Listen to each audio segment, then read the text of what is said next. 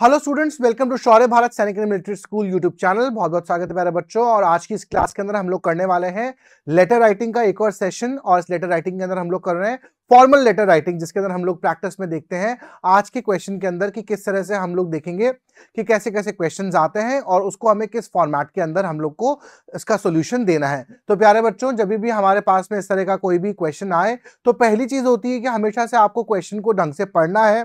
उसमें दिए गई बातों को मेंशन की गई चीज़ों को, उसी को ही मेंशन करना है। अपने लेटर के अंदर पहली बात आप लोग को ये याद रखनी है, नहीं दे रखा हो तो आप लोग अपने अकॉर्डिंगली उसको लिख सकते हैं। डेट्स का स्पेसिफिकली ध्यान रखना है। और आपको कल भी मैंने बताया था, यानी इससे पहले भी मैंने क्लास में बताया था आपको, कि जब भी आप लेटर राइटिंग कर रहे हैं फॉर्मल खासकर स्पेसिफिकली फॉर्मल लेटर्स की तो यहाँ पर ध्यान रखना है कि आपको पेज के लेफ़्ट हैंड साइड में ही हर चीज़ की स्टार्टिंग करनी है।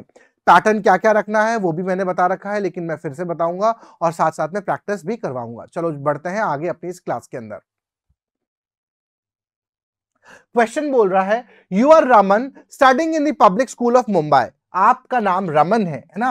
एंड आप कहाँ पढ़ रहे हो? पब्लिक स्कूल में पढ़ रहे हो किसी एक पब्लिक स्कूल में मुंबई के अंदर, ठीक है ना? तो आपका है मुंबई। तो आपका एड्रेस भी मुंबई रिलेटेड ही होना चाहिए। ये नहीं कि अब आप अपनी मर्ज़ी से कोई भी एड्रेस लिख दें, ठीक है ना? अगर क्वेश्चन में मेंशन होगा तो वो लिखना है। अगर मेंशन नहीं हो, अगर स्टेट का और उसका नाम दे रखा है ना? सिटी का तो आपको वही यूज़ करना है।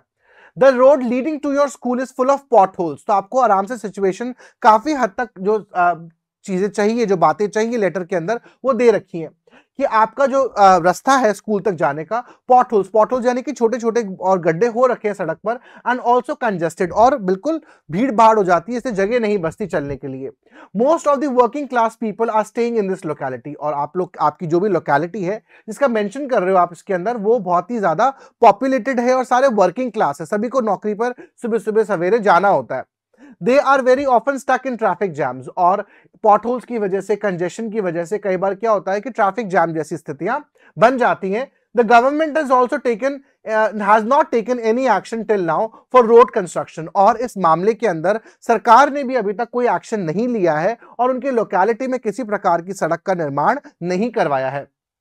So what you have to do write a letter to the editor पहली बात तो है आपको लिखना है एडिटर को लिखना है और द टाइम्स ऑफ़ इंडिया है ना? तो ये रखना हम लोग को द टाइम्स ऑफ़ इंडिया के कॉन्टेक्स्ट में यूसेज में लगाना है, ठीक है ना? Drawing the attention of the government और किसका ध्यान आकर्षित करेंगे? गवर्नमेंट का ध्यान आकर्षित करना है to the issues faced by people requesting them for road construction context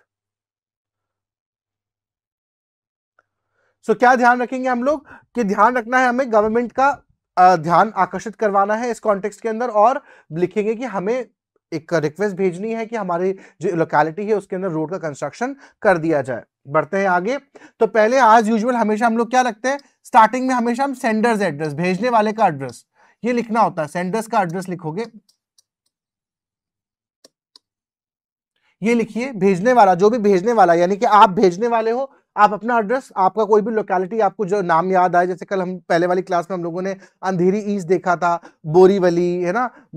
Mumbai के अंदर बहुत फ़ेमस जगह होती है, आप उसके हिसाब से अपना नाम लिख सकते हैं, अगर क्वेश्चन में दे रखा हो वेल एंड गुड है एल्स आप you can write it mostly Gandhi Nagar, Nehru colony Bhagat Singh colony है ना? ये थोड़ा सेफर साइड हो जाते हैं, क्योंकि कई बार होता है कि हमें समझ नहीं आता कि हम क्या लिखें, लेकिन नेहरू अंबेडकर भगत सिंह, ये जो फ्रीडम फाइटर्स हैं या बड़े नेता हैं, इन लोगों के नाम पर अक्सर वहाँ पर कोई ना कोई कॉलोनी और लोकेलिटीज होती है तो सेफर साइड में हम लोग इन लोग के नाम लिखकर हम लोग रिलैक्स फील कर सकते हैं। तो प्यारे बच्चों, याद रखोगे कि स्टार्टिंग में आप लोग को लिखना है, क्या लिखेंगे? अपना थ्री थ्री लाइंस के अंदर with no comma and no full stop आप लोग को अपना एड्रेस अपना एड्रेस सेंडर भेजने वाले का एड्रेस लिखना है। लिखा आपने at Gandhinagar, Mumbai, Maharashtra.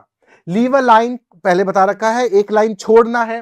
और जो जिस दिन आप लिख रहे हो, उस दिन की तारीख लिखनी है। जैसे आज दिन है 21 नवंबर तो आप 21 नवंबर के लिए ही डेट लिखोगे 21 नवंबर। तो यहाँ पे ये मत लिख देना मैं 21 बोल रहा हूँ, लेकिन डोंट राइट 21 मैंने आपको समझा रखा है कि हमें डेट के फॉर्मेट में जो एस टी एन डी जो हम लिखते सेकेंड फ़र्स्ट है ना, वो हमें इसके अंदर मैंशन नहीं करना है। और ना ही हमें जो हमारी आदत होती है, अक्सर हमें, हम इस तरह से डेट्स को लिख देते हैं। ये भी नहीं हमें करना है। हमें प्रॉपर विथ मंथ का नेम और प्रॉपर ईयर का मेंशन करते हुए लिखना है। उसके बाद में आएगा रिसीवर्स एड्रेस, है ना, जहाँ पे हम भेज रहे हैं, उसका एड्रेस लिखना है हमको।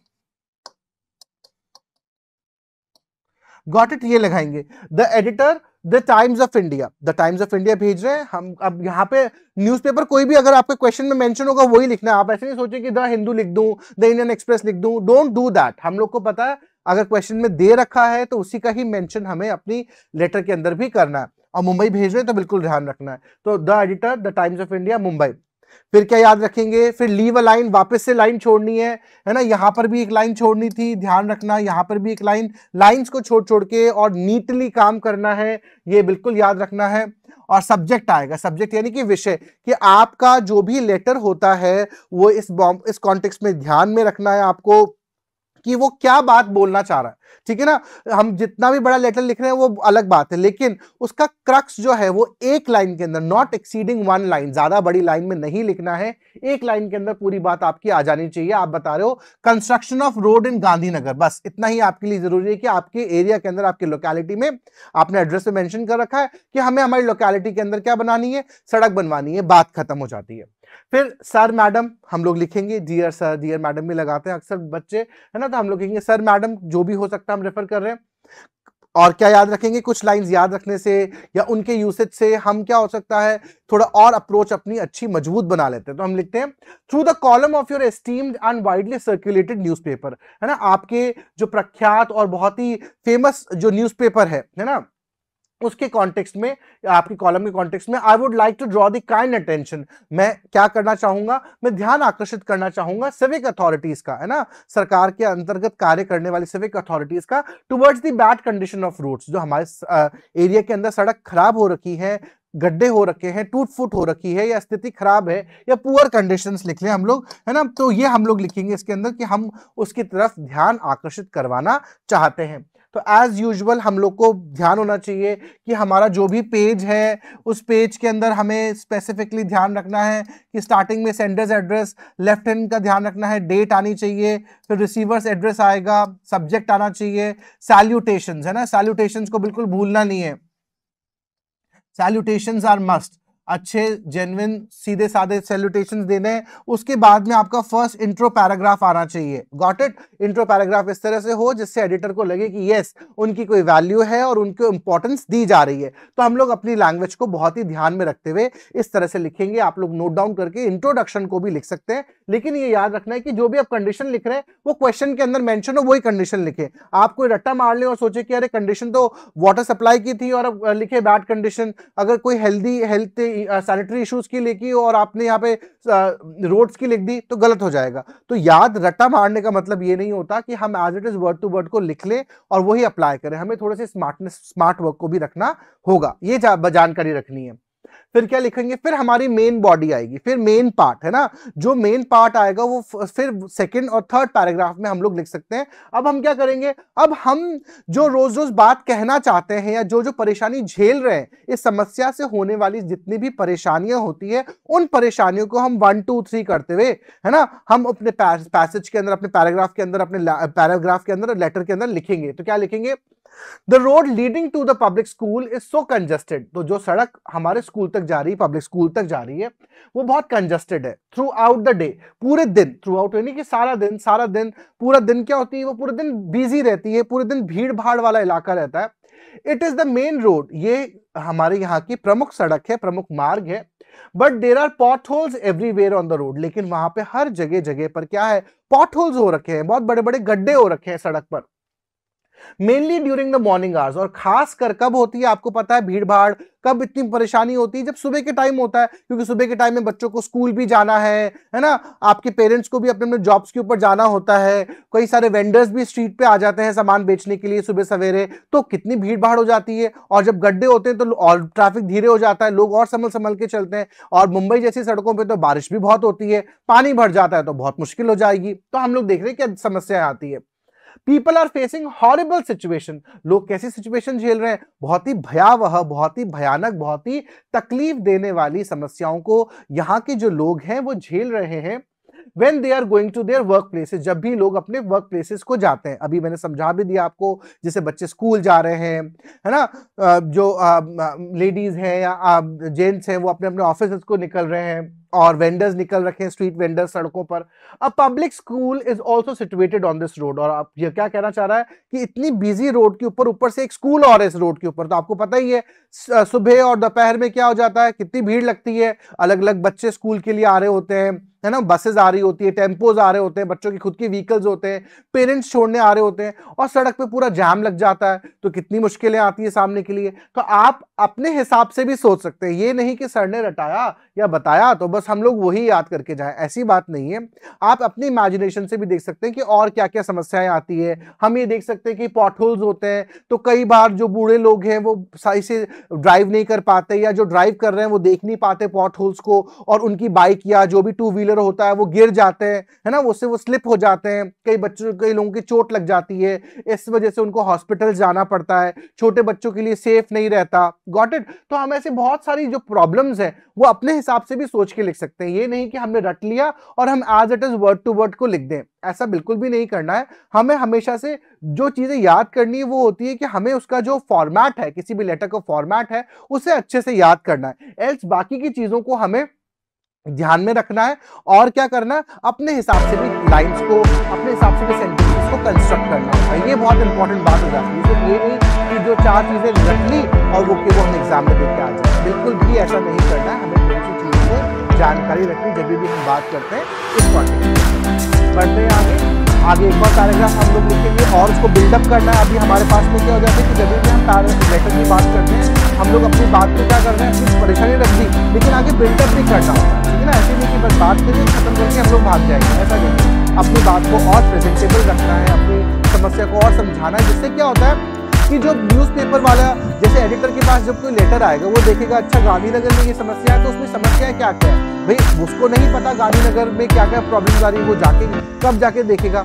अगर आप अपनी सारी प्रॉब्लम दे दोगे तो वो क्या करेगा? जिससे भी न्यूज़ लिखवाएगा उसको आसानी हो जाएगी। अच्छा ये पॉइंटर उसको बैठे बैठाए मिल गए वो फटाफट से उसकी न्यूज़ ड्रॉ कर देगा।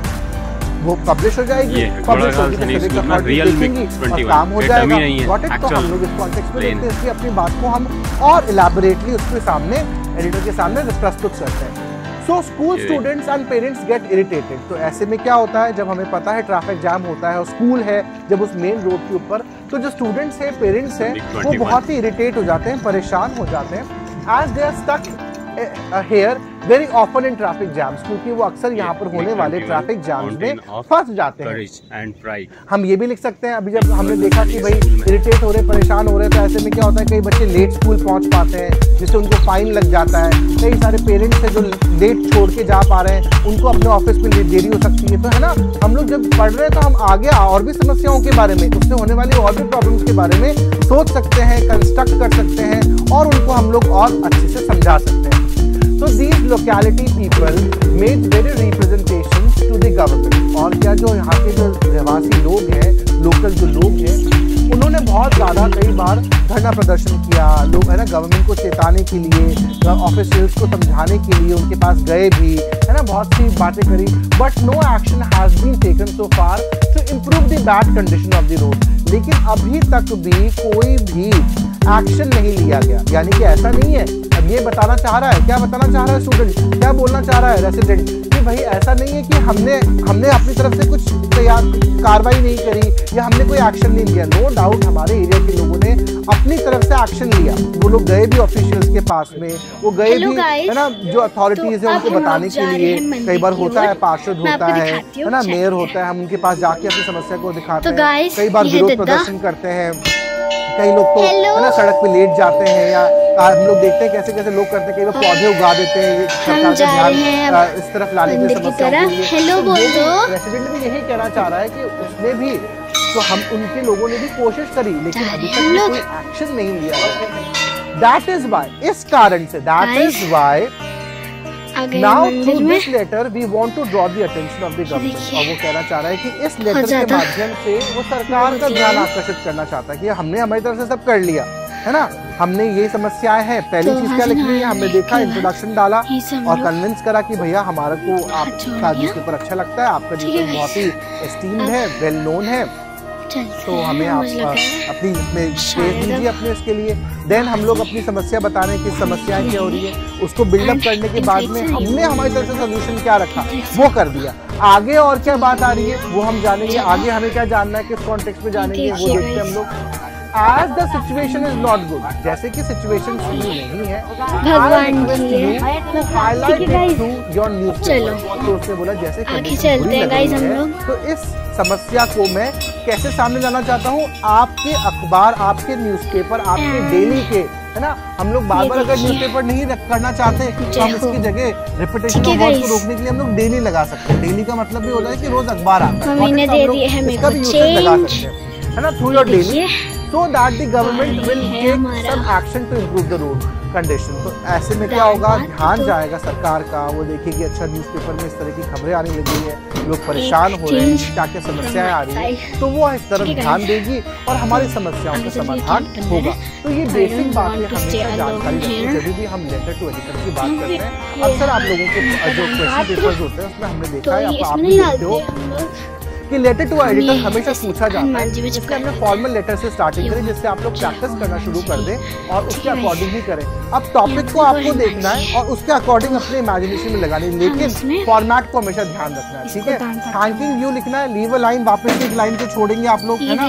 फिर वापस थैंकिंग यू एंड वापस से leave a line yours sincerely कल भी बताया था अपोस्ट्रॉफ एस बिल्कुल यूसेज नहीं लगाना है और सिंसियरली में एस हमेशा छोटा लगाएँगे बड़ा एस हमको नहीं लगाना ये लगाना। है और आपका नाम अब हमें पता है हमें क्वेश्चन के अंदर नाम क्या था? रमन नाम था। तो यहाँ पे हम लोग क्या लिखेंगे? हम लोग यहाँ पे लिख सकते हैं रमन। गणेश जी है हनुमान जी है। बात खत्म हो जाती है।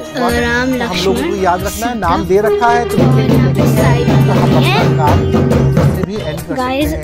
और अब हम लोग जा रहे हैं नीचे। बात नहीं आई। तो ये पहली बात इम्पोर्टेंट बात का ध्यान रखनी है फॉर्मेट का ध्यान रखना है। तो मैं एंड अप करने से पहले एक बार वापस से शुरुआत से एक बार पढ़ के वापस दिखाता हूँ जिससे आपको एक साथ में याद हो जाएगा क्योंकि हम लोग में पापा तो क्या लगाएँगे हम लोग? मैं आपको दिखा देती हूँ गाइस ये देखिए। जो पढ़ रहा है और पॉट होल्स की समस्याएँ हैं ट्रैफ़िक जाम की है ना? कंजस्टेड की प्रॉब्लम हो रही है इस एरिया में। और टाइम्स ऑफ़ इंडिया के को हमें लेटर लिखना है। तो हम लोग देख रहे हैं आगे। सेंडर का एड्रेस भेजने वाले का एड्रेस लिखेंगे on the left hand side of a paper है ना? Gandhinagar Mumbai Maharashtra then leave a line then जिस जो करंट डेट होगी आप वो डेट लिखेंगे then also leave a line जिसको भेज रहे हैं उसका एड्रेस लिखेंगे आप लोग है ना? To the editor editor the Times of India जो भी न्यूज़पेपर का नाम मेंशन होगा वो लिखेंगे एंड उसका सिटी लिखेंगे. फिर बढ़ेंगे आगे लीव लाइन है ना? हम लोग लीव लाइन रखेंगे और फिर सब्जेक्ट लिखेंगे जो सब्जेक्ट है, वो हमें वन लाइनर होना चाहिए। एक लाइन से ज़्यादा एक्सीड नहीं करेंगे। इस बारे में जानकारी रखनी है। लीव अ लाइन है ना?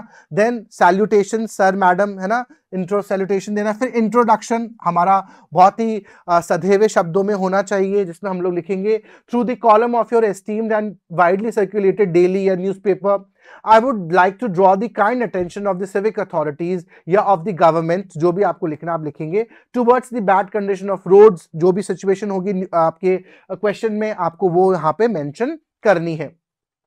फिर आप लोग लिखेंगे, क्या लिखेंगे? जो मेन बॉडी है है ना? मेन पार्ट है मेन जो बात रखनी है, वो अब आप अपनी बात को रखना शुरू कर सकते हैं। तो the road leading to the public school is so congested throughout the day it is the main road but there are potholes everywhere on the road Mainly during the morning hours, people are facing horrible situations when they are going to their workplaces. A public school is also situated on this road. तो हम लोग लिख रहे हैं शुरुआत में कि हमारे स्कूल तक एक इंपॉर्टेंट स्कूल तक आने वाली रोड पूरे दिन भीड़ भाड़ रहती है उस सड़क के ऊपर पॉट होल्स हैं वहाँ गड्ढे हैं रखे सड़क पे जगह जगह पर। सुबह के टाइम में तो बहुत स्थिति खराब हो जाती है। वर्क प्लेस पे जाने के लोगों को लेट हो जाता है और वहाँ पर एक बड़ी स्कूल भी सिचुएटेड है और ऐसे में क्या होता है?